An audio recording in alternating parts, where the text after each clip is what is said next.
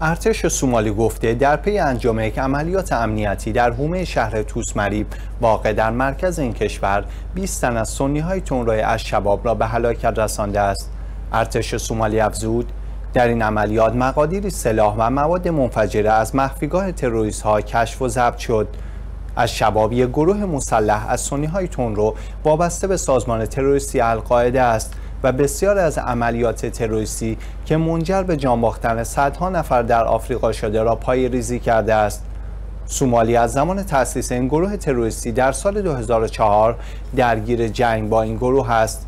تعداد عناصر این گروه تروریستی در سال 2014 میلادی بین 7 تا 9 هزار نفر برآورد شده بود.